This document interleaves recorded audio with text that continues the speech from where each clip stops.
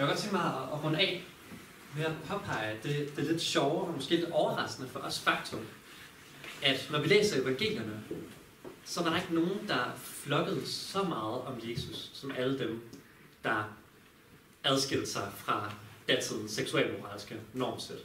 Mm. Altså øh, prostitueret og en kvinde, der havde været utro og sådan noget, de flokkedes om Jesus. De var, de var fuldstændig vilde med ham. Og det, det skyldes, at i ham så mødte de ikke fordømmelse. De følte ikke, at ham er, han er sådan en, der ser ned på mig og, og bare holder mig til sit perfektionistiske moralkodex og kræver alt muligt af ham. De følte, at her var en, der tog imod. I ham fandt jeg identitet, jeg fandt mening, jeg fandt fællesskab. Det betød ikke, at han ikke kunne tale os imod og udfordre os og, og, og tale lidt barst også nogle gange. Men selv da, så har det været klart for alle dengang, at det her det var gjort i kærlighed. Det handlede ikke om, at han så ned på mig, det handlede om kærlighed. Hvis kirken i dag havde Kristi sind, så tror jeg, at kirkebænkene vil være fulde af folk, der kæmpede med deres seksualitet og kønsidentitet. Kirkerne vil være fulde af LGBT-personer. Og så alligevel så noget, der er det modsatte tilfælde. Altså lad os være ærlige, det, det er der, vi er. Hvis folk i dag finder ud af, at man er homoseksuel, så er den naturlige reaktion, at man løber skrigende bort fra kirken. Og lad mig være ærlig, jeg forstår det godt. Især når jeg tænker på nogle af de serier, jeg havde ophavet før. Jeg forstår det godt.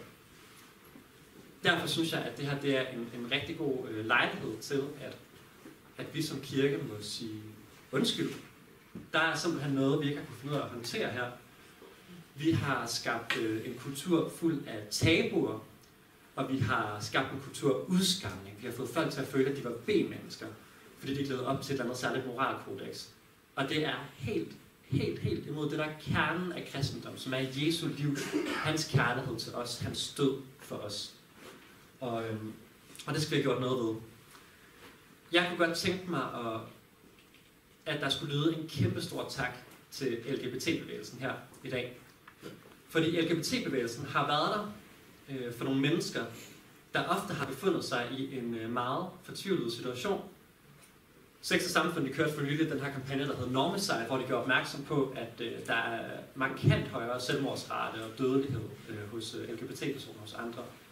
Det bærer, altså det, det, det er ikke let altid, og det, det, det kommer med en pris at opdage, at man er homoseksuel eller trans eller et eller andet. Og jeg synes, vi skylder LGBT-bevægelsen en kæmpe stor tak for at kunne møde de her mennesker. Kunne give dem et sprog for deres oplevelse. Kunne give dem et fællesskab. Opdage, at de ikke var mærkelige. Opdage, at der er mening, at der er håb og fremtidsudsigter, der er lyse for dem. Som kristen, der, der tror jeg, at, at der ikke er noget sted, vi finder så meget mulighed for identitet og mening og fællesskab, som hos den Jesus, der døde for os.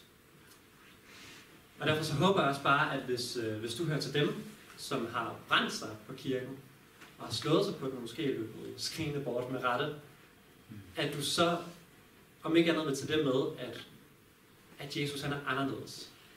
Og han er også anderledes, hvis jeg har sagt noget dumt i dag, eller hvis du har støttet på noget, jeg har sagt. Han er anderledes. Og husk igen, her større kærlighed har ingen end den at sætte sit liv til for sine venner. Og det gjorde han. For dig, for mig, for os. Det viser, at der er virkelig en kærlighed her, og jeg tror, det er nøglen til identitet. Det er nøglen til sand mening, nøglen til sandt fællesskab. Altid tilgivelse. Altid ubetinget kærlighed. Og det er det første og det sidste, der er at sige, når vi taler om et kristent kønsdebat. Mange tak for i aften, og rørende at se så stor en forsamling. Tak for det.